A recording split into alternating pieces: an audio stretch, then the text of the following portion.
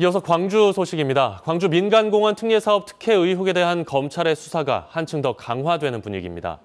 검찰이 이용섭 광주시장의 정부 특보 사무실을 압수수색했습니다. 이계상 기자의 보도입니다.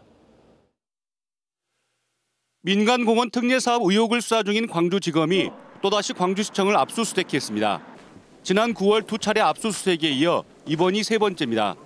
이번 압수수색 대상은 이용섭 시장 최측근인 정무특보의 사무실로 수사관들은 사무실 컴퓨터와 자료 등을 철저하게 찾아내 확보한 것으로 알려졌습니다.